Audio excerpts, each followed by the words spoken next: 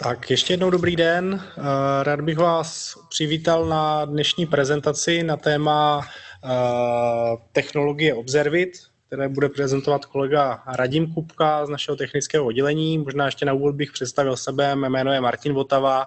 V Comguardu pracuji jako eh, account manažer a budu tady tuhle tu dnešní akci nějakým způsobem uvádět.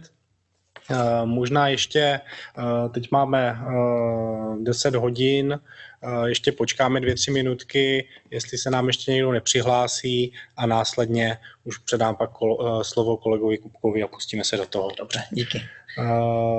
Pokud by byl nějaký problém s tím, že byste nás špatně slyšeli, nebo nějaký jiný technický problém, tak máte k dispozici nahoře okno chat, takže tam se dá eh, nám něco napsat, případně jsou tam eh, questions and answers a tam je možno eh, psát případné dotazy k té dnešní prezentaci, přičemž dotazy, pokud by byly nějakého obchodního rázu nebo z hlediska licencí a tak dál, tak ty bych odpovídal průběžně jenom psaným textem. Pokud se bude jednat o nějaké technické dotazy, tak ty na závěr přečteme a zodpoví kolega Radim Kupka. Dobře. Tak eh, kolik máme hodin? 01. Ještě tedy chvíli počkáme a pustíme se za chviličku do toho.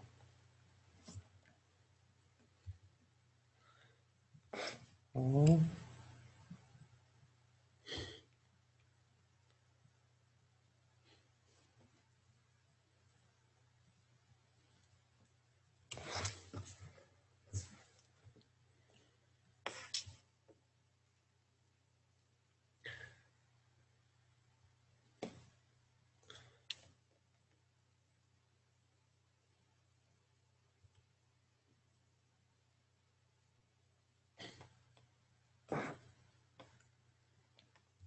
Tak, takže asi můžeme se pustit do toho.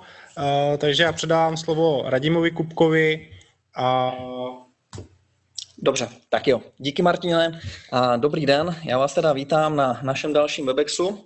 V rámci dnešního bloku se podíváme na technologii Observit od stejnojmeného výrobce, kdy tato technologie je primárně zaměřená na nahrávání uživatelských aktivit. Takže tím primárním cílem je, že chci mít veškeré informace o tom, co se dělo na konkrétním serveru, když tam probíhal například nějaký zásah administrátora nebo nějaká konkrétní práce, s tím, že Observit se v poslední době vyvinul do takové podoby, že vlastně dneska už to není doménou čistě jenom privilegovaných uživatelů, ale dostává se už i do segmentu standardních uživatelů, kdy třeba mám v rámci společnosti uživatele, který provádí a, nějakou práci, která má zásadní vliv na biznis té samotné společnosti a chci mít ty konkrétní kroky v rámci té aplikace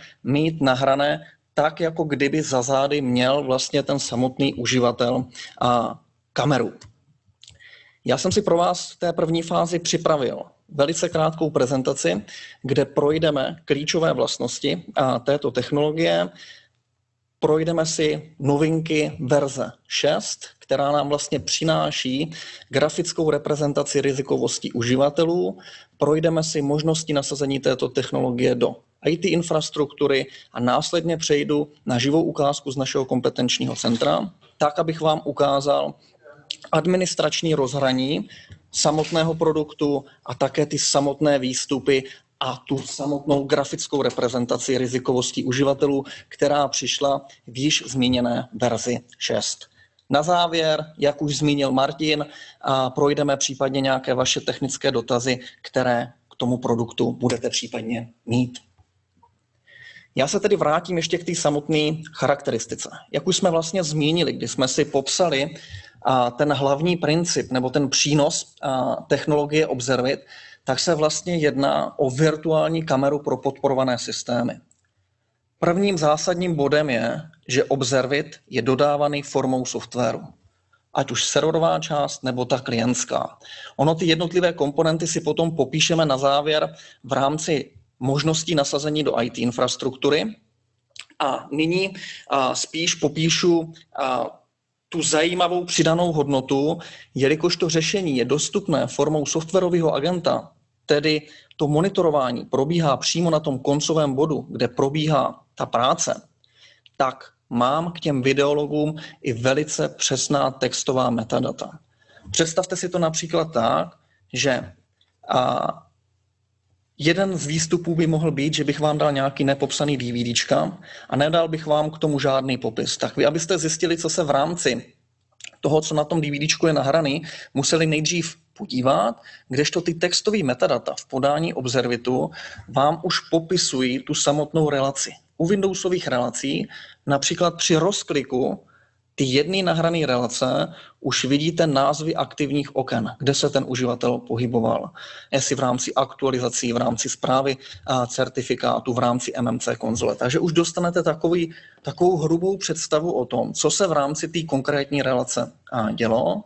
A plus ty textové metadata ještě přináší to, že vlastně potom můžete full textově vyhledávat v rámci těch relací a můžete na základě těch metadat popisovat to nestandardní chování uživatelů.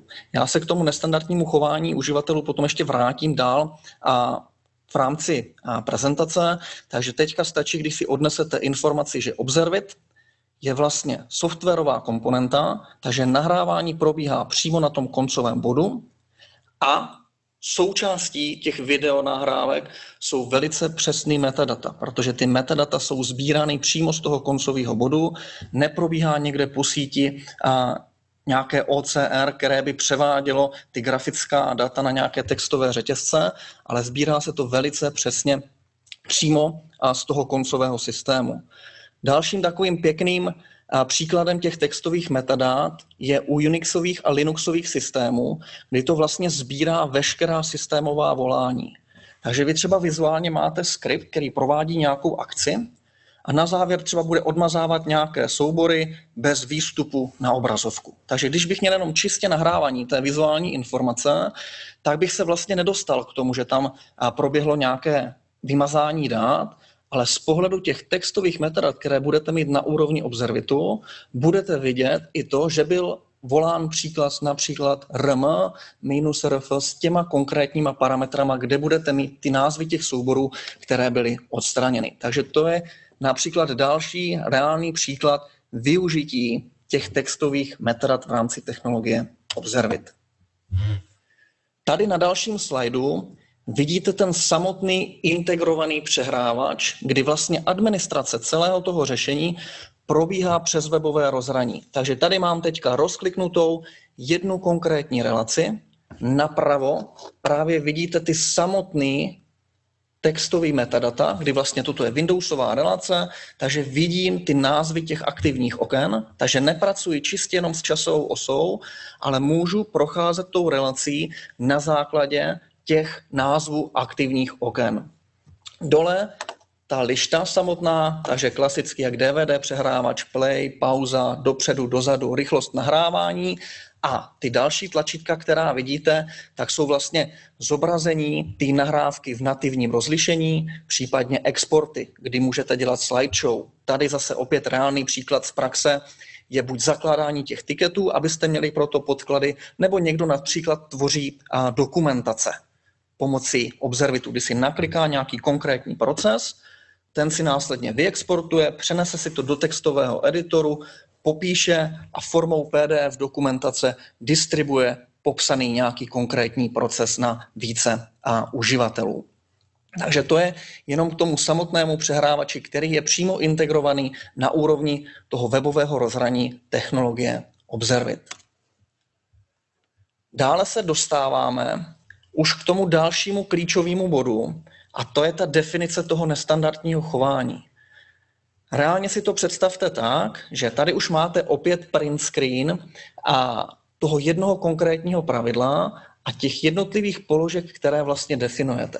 Kdy, když pominu vlastně tu hlavičku, kde mám název a nějaký popis, tak vlastně definice toho samotného alertovacího pravidla se říká kdo a, nadef, a nadefinuji si pomocí pole buď všechny uživatele nebo nějakého konkrétního, dělal co. tam si popíšu například spustil editor registru nebo spustil nějaký konkrétní proces, aplikaci a pohyboval se v nějakém konkrétním názvu okna. Na kterém počítači? Opět si můžu vydefinovat konkrétní počítače nebo skupiny, kdy nadefinuji si nějaké časové okno, kdykoliv, z nějaký konkrétní čas a případně odkud ten klient byl připojený. Takže na základě těchto podmínek si postavíte to pravidlo pro nestandardní chování uživatelů a následně Observit to využívá v tom GUI tak, že vám vlastně markuje ty samotné relace, takže budete mít označený takovým zvonečkem, takže není to tak, že to furt musíte procházet a dívat se, kde byl nějaký alert, nebo je tam pohled jenom na relace, kde se vyskytnul nějaký alert a můžete vlastně podle těch alertů filtrovat. A dalším takovým podstatným bodem je, že každé alertovací pravidlo má definovanou závažnost a podle závažnosti ten uživatel dostává body, na základě kterých se potom vypočítává to agregované skóre rizikovosti uživatele. Mám to potom dál ještě popsáno v rámci té prezentace a následně se na to ještě podíváme i naživo. Tady už vlastně vidíte ten integrovaný nástroj, který vystupuje pod názvem Insider Threat Intelligence, kdy je to rozšíření té administrační konzole technologie Observy, takže není to nějaký další nástroj, že by se musel instalovat nějaký virtuální stroj nebo kus softwaru a provazovat to s tou administrační konzolí, ale je to přímo tlačítko na úrovni toho administračního rozhraní, kdy vlastně já můžu na základě těch alertovacích pravidel, kdy ti uživatelé získali ty body, takhle graficky vyreprezentovat tu rizikovost těch konkrétních uživatelů, kdy vlastně tady vidíte to agregované skóre, které je spočítáno od 0 do 100. Takže ty uživatele všechny podle toho, jak na ně byly aplikovány ty alertovací pravidla a tím pádem pozbírali ty body, tak mám vlastně to agregované skóre a mám to vlastně od nejvyššího počtu bodů po nejmenší počet a postupně si to můžu procházet. Potom v rámci té živé ukázky si ukážeme vlastně, jak jsou ty jednotlivé části i klikací, takže se můžu dostávat na ty jednotlivé části, ať už na ten alert nebo na tu konkrétní aplikaci, tak abych udělal následnou investigaci toho a řekl ano, toto bylo nestandardní chování, budeme to nějakým způsobem řešit, anebo tohle to bylo v pořádku a já vlastně můžu potom v rámci jednoduchého workflow říct, toto chování bylo v pořádku, byl to administrační zásah a označím to, tato, tento alert nebyl v tomto případě žádný problém a tomu uživateli se ty body odečtou. Takže to je jenom v krátkosti, co se týče toho nového stěžejního modulu verze 6, to je ten Insider Threat Intelligence, který řeší to rizikové chování uživatelů na základě tady této grafické reprezentace, nebo vám graficky vyreprezentuje rizikovost uživatelů. Tady mám ještě popsáno v rámci prezentace vlastně výpočet toho samotného skóre, takže jak už jsme se bavili na základě definice toho alertu, tak tady už vlastně vidíte detail na tu samotnou hlavičku toho alertovacího pravidla, kde vidíte, že definujeme takzvaný risk level. Critical, high, medium a low. A tady vlastně v hranatý závorce vidíte ty jednotlivé body, které ten uživatel získá, pokud to alertovací pravidlo je na něj aplikováno. A na základě tady těchto bodů, které on získává, tak Insider Threat Intelligence vypočítává to agregované skóre od 0 do 100 a provede vám tu grafickou reprezentaci. Takže neřešíte jednotlivě nějaké alerty a neprohrábáváte se nějakou velkou množinou těch alertovacích pravidel, ale pokud máte dobře definované ty alertovací pravidla, tak řešíte ty problémy od těch nejkritičtějších po ty méně kritické. To je ta hlavní myšlenka toho Insider Threat Intelligence a tady právě se ten produkt otvírá i k těm standardním uživatelům, kteří pracují v aplikacích, které mají zásadní vliv na biznis společnosti. Jo? Nebo to můžou být nějaké technologické systémy například. Takže a dnes už Observit není čistě jenom doménou privilegovaných uživatelů. Když jsem nahrával na serverech práci administrátorů, ať už interních nebo externích, dnes se ty nůžky už otevírají směrem k těm standardním uživatelům, který pracují s nějakými kritickými aplikacemi nebo s kritickými daty. Marking tool. Je to vlastně rozšíření pro to, abych mohl detailněji tvořit ty alertovací pravidla.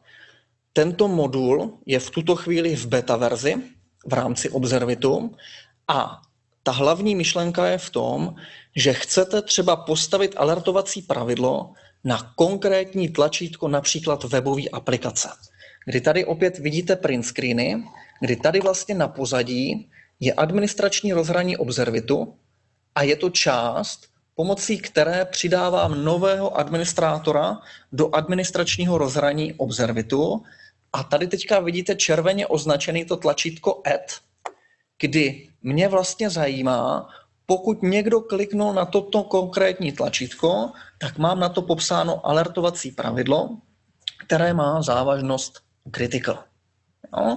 A následně při definici toho alertovacího pravidla, tady jsme si opět udělali detail na tu položku dělal co, tak mám vlastně, že proběhla interakce s aplikací Observit cgict.local, což je vlastně ta konkrétní webová aplikace, a říkám, někdo mi kliknul na element, který jsem si pojmenoval jako přidání konzolového uživatele. A Severitu jsem si dal Critical a takhle jsem to vlastně měl aplikováno na všech těch strojích, které vlastně mají přístup do administračního rozhraní Observit. Takže po tom uplatnění můžu namapovat například nějakou e-mailovou notifikaci, uživatel získá body a veškeré ty relace, kde jsou uplatněná tyto alertovací pravidla, tak jsou potom označeny, že došlo k nějakému alertu v rámci ty konkrétní relace. Dalším bodem, který přišel z verzí 6, je tzv. Dynamic Forensic Video Recording – který vlastně znamená to, že reálně můžete mít i příklad, tyto zařízení chci monitorovat, ale to monitorování bude postaveno tím způsobem, že sbírám pouze ty metadata, takže ne, nezbírám žádný a, videonahrávky, ale ten agent tam běží, sbírá ty metadata a vyhodnocuje případně ty alertovací pravidla. A tady to, co vlastně opět vidíte, ten print screen, tak je vlastně poslední blok při tvoření toho alertovacího pravidla, kdy já můžu definovat nějakou akci. A jednou z těch akcí je, že já vlastně můžu spustit ten video recording až na základě toho, že bylo uplatněno nějaké to konkrétní alertovací pravidlo.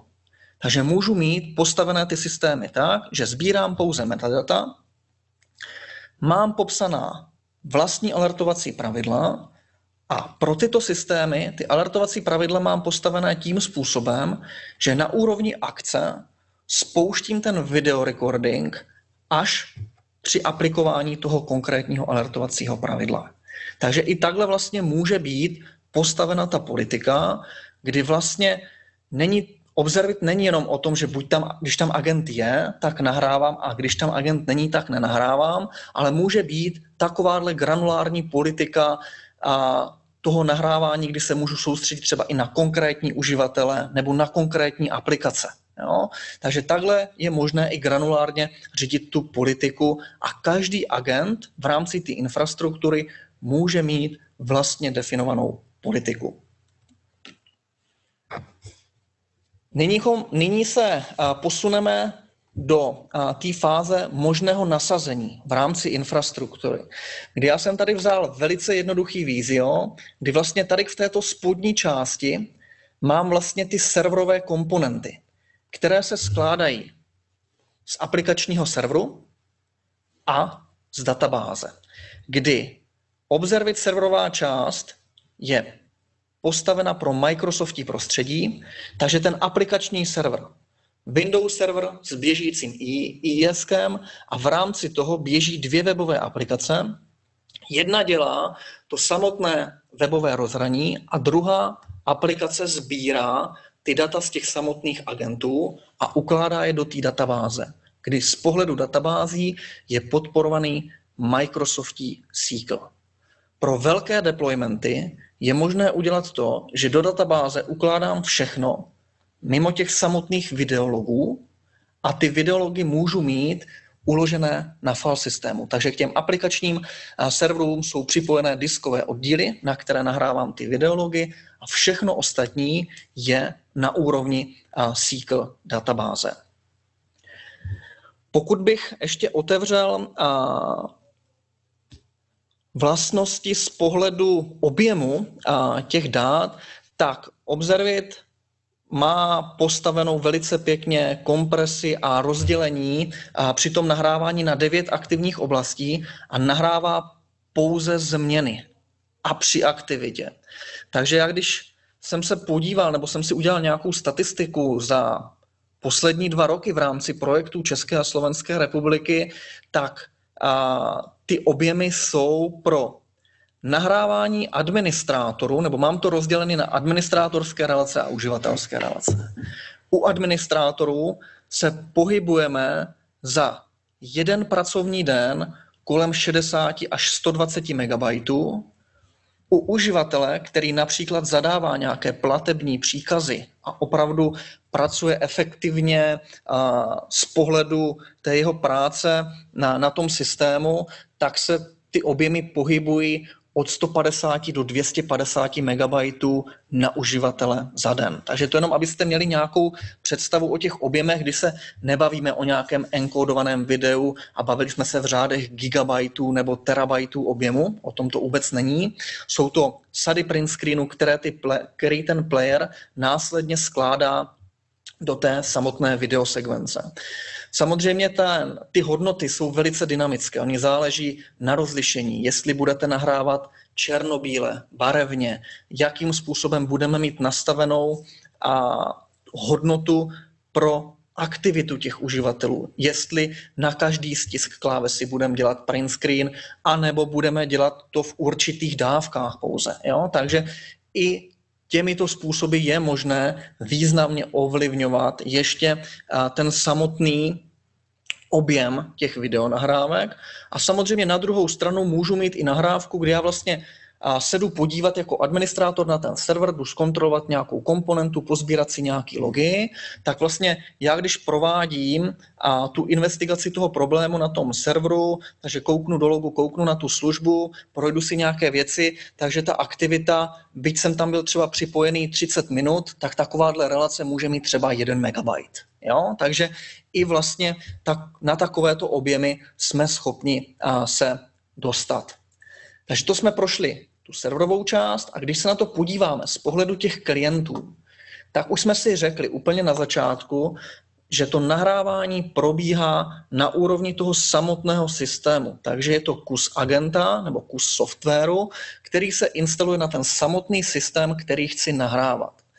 Tam je velice významný benefit v tom, že pokud je k tomu zařízení i fyzický přístup, a vy toho agenta máte přímo na tom konkrétním zařízení, tak i když ten administrátor přijde do té serverovny a připojí si tam monitor a klávesnici a bude pracovat lokálně na tom serveru, tak veškeré ty aktivity budou nahrány.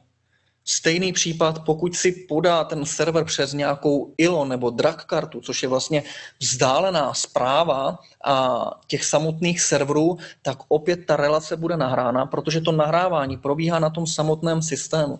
Takže Observit není něco, že bychom nainstalovali nějaký server formou RDP proxy nebo SSH proxy, ale to monitorování probíhá přímo na tom koncovém stroji, takže i z pohledu toho monitorování, všechno, co probíhá na tom systému, tak už nejste ovlivněni nějakým podporovaným protokolem, nebo budete mít i nahráno to, že pokud z toho monitorovaného zařízení budete provádět zprávu nějaký cloudový aplikace, kam nejste schopni nic nahrát, tak i všechny tyto aktivity budete mít kompletně nahrané. Takže to je jeden a, vlastně mód nasazení, kdy mám kompletní metadata a pokryté veškeré vektory přístupu k tomu konkrétnímu zařízení. A plus samozřejmě ještě může existovat model, kdy si vlastně vybuduji něco jako accessovou gateway, kterou budu monitorovat, takže všechny ty externí nebo interní uživatele, které, kteří provádí tu zprávu těch kritických systémů, budu združovat buď na nějakém terminálovém serveru nebo na nějakých virtuálních administrátorských stranicích, ty budou pokryty tím Observit agentem Accesová vrstva zajistí to, že pokud chci spravovat nějakou kritickou infrastrukturu, musím se připojit nejprve na tento monitorovaný, na toto monitorované zařízení a z něj až potom provádím tu zprávu těch následných zařízení. Je nutné mít pouze na paměti, že pokud ten model toho přístupu bude postavený tím způsobem, že já pomocí například RDP přes VPN přistoupím na tento terminálový server nebo na nějakou virtuální administrační stanici a accesová vrstva dovolí to, že můžu sestavit další RDP konexy na server v rámci interní infrastruktury, který už není pokrytý Observit agentem, tak vizuálně budu mít všechny data, protože se to vlastně odehrává tady na tomto předřazeném terminálovém serveru. Ale co se už vzdáleně spustilo na tomto serveru, tak z pohledu metadat tu informaci mít nebudu, protože tady není agent, který by ty metadata pozbíral. Jo? Takže není to o tom, která z těch variant je lepší. Každá má ty silné, slabé stránky a pokud se podívám na ty větší projekty, tak ve 100% je to hybridní model, kdy se v první fázi řeší nejčastěji ty externí administrátoři, kterými spravují tu kritickou infrastrukturu. Dále se to rozšiřuje na ty interní administrátory a ta infrastruktura z pohledu Observitu potom roste, že ty kritické servery mám pokryté přímo tím agentem a mám pokrytý i ten accesový server a postupně se tvoří i POC nebo otevírá se ty projekty i směrem k těm kritickým interním uživatelům, takže se posouváme z těch privilegovaných uživatelů na kompletně veškeré uživatele v rámci společnosti. Takže takhle v kostce, co se týče nasazení a dělení té klientské a serverové části z pohledu technologie Observit. Z mé strany, co se týče prezentace a je to zatím vše. A já bych se nyní přesunul na živou ukázku. Já tady jenom přehodím si okno. Tak. Našerovat.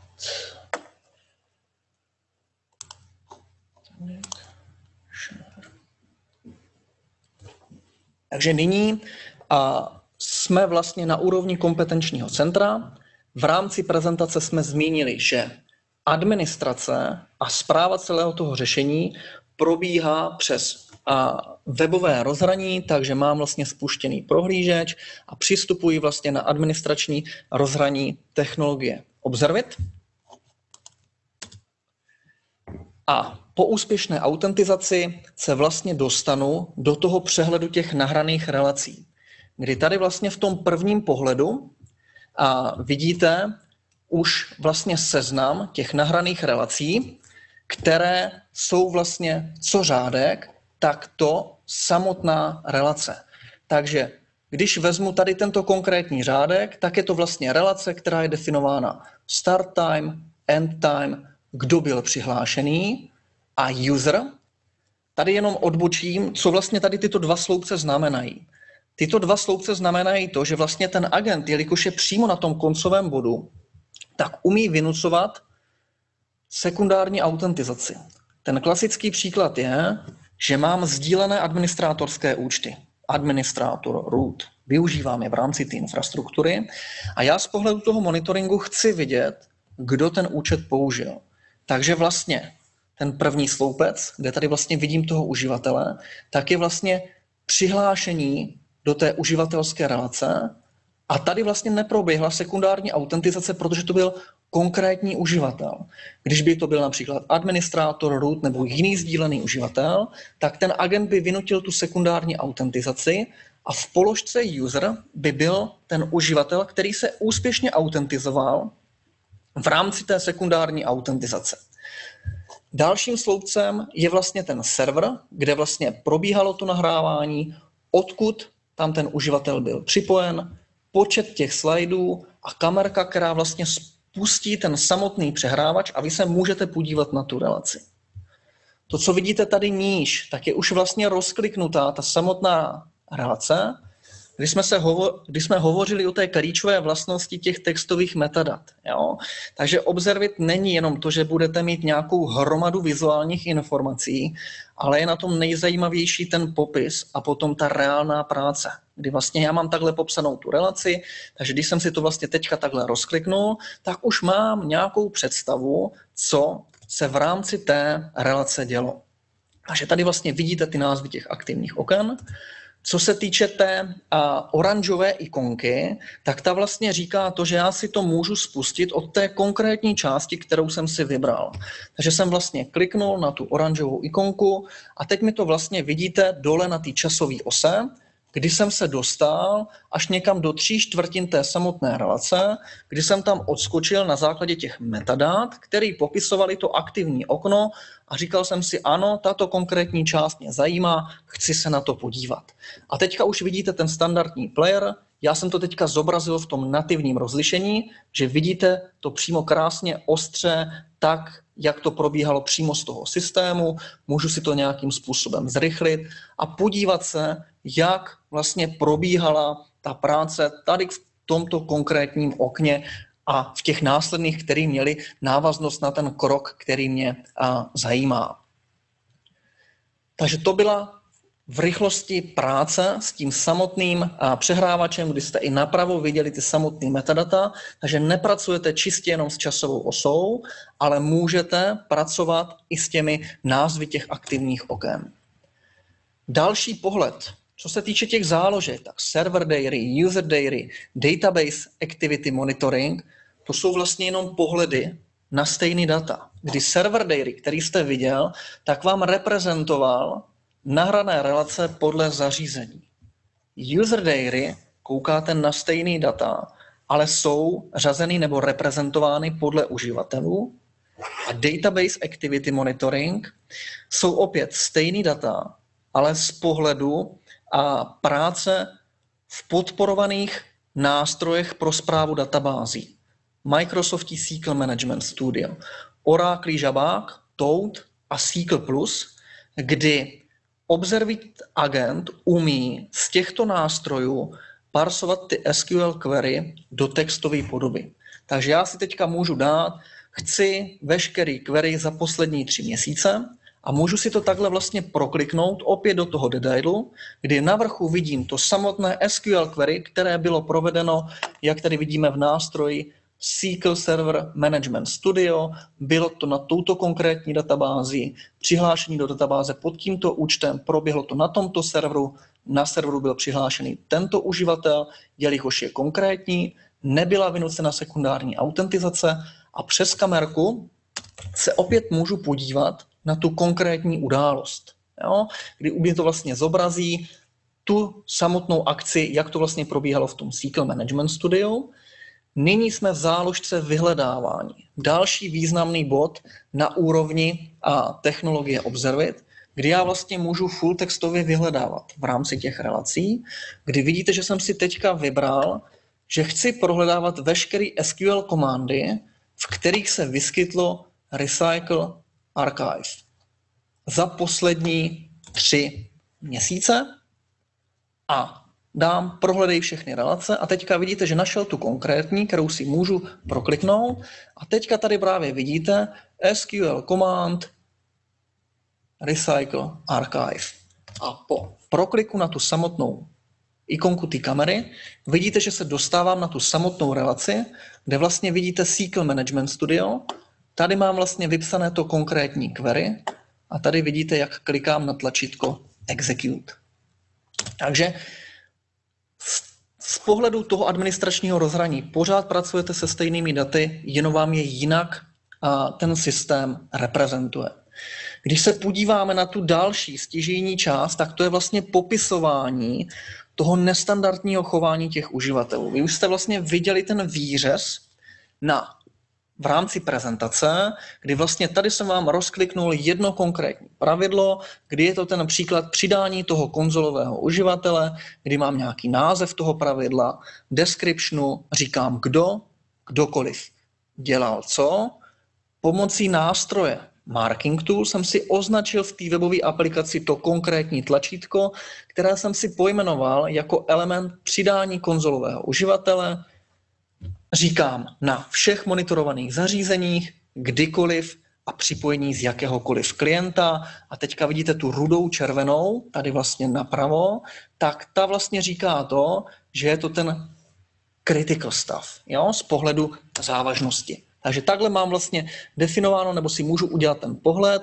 V rámci toho prokliku si tímto způsobem můžu vlastně definovat to samotné alertovací pravidlo, plním ty jednotlivé pole a následně při prokliku na ten Insider Threat Intelligence, kdy vlastně vidíte, že to bylo tlačítko v rámci stejného administračního rozhraní, takže není to nějaký další dodatečná nějaká virtuální appliance nebo kus softwaru, který by se provazoval směrem k Observitu, ale to přímo tlačítko v rámci toho administračního rozhraní, tak je schopný vám ty alerty vyreprezentovat podle rizikovosti pro ty konkrétní uživatele. Takže tady vlastně vidím nějaký přehled top 10, kdy defaultně to za posledních 30 dní, vidím i statistické změny, můžu si to prokliknout na nějaký konkrétní detail, kde vlastně vidíte, že to je velice pěkně svázaný s LDAPem, kdy to vyčítá z toho LDAPu fotku, a full name, department, e-mail, a uživatelské jméno.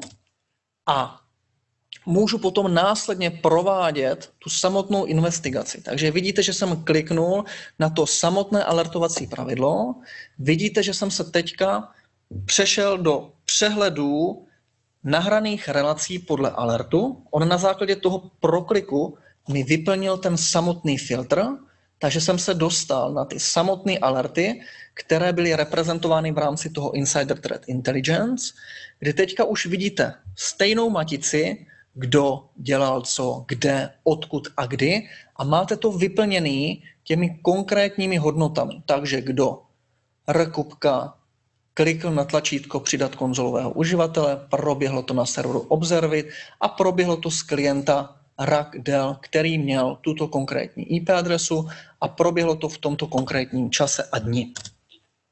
Samozřejmě opět v tom pravém rohu vidíte potom a, i tu samotnou ikonku, takže si to vlastně můžu prokliknout podle toho ID a provést tu samotnou investigaci. Vidíte, že to skončilo do té konkrétní části, kde tam vlastně dole klikám na to tlačítko Observit nebo přidat toho uživatele Spy v rámci administračního rozhraní Observit. Když se vrátím zpátky, ještě vlastně vidíte to označování těch relací, což jsou vlastně ty zvonečky a kolem toho je ta barva na základě té závažnosti. Vidíte, že všechno je proklikávací, takže tak, jak jsme to viděli v přehledu relací podle uživatelů nebo podle zařízení, tak stejně i tady s tomto vyhledáváním na úrovni každé té relace, pokud proběhl alert, tak je ještě i takhle graficky označena, že tam ten alert proběhl. Já se můžu vrátit zpátky přes to view, udělat si ten vlastně ten náhled, ten print screen toho, jak to vypadalo.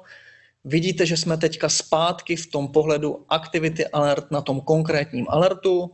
Pustili jsme si video, vyhodnotili jsme si tu situaci a teďka v rámci tady tohoto jednoduchého workflow říkám, jestli teprve tady na tom incidentu pracuji, nebo je to nový incident, který ještě nikdo neřešil a případně ty poslední dvě položky říkají, jestli to teda byl nějaký konkrétní incident či nikoliv. Já tady v tomto konkrétním případě vybírám, že tohle to incident nebyl, takže řeknu, toto nebyl problém a vidíte, že mám označeno non-issue a teďka, když dám vlastně refresh na úrovni Insider Threat Intelligence, tak vidíte, jak ty body byly odečteny, kdy vlastně místo 90 bodů jsem zpátky na 10 bodech.